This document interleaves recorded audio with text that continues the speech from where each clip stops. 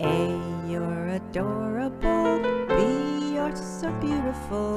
C, you're a cutiful, a charm.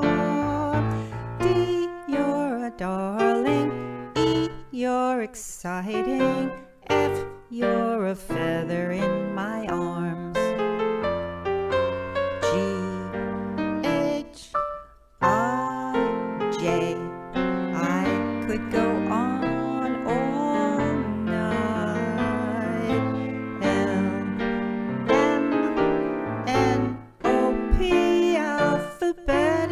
speaking, you're okay. You made my life complete.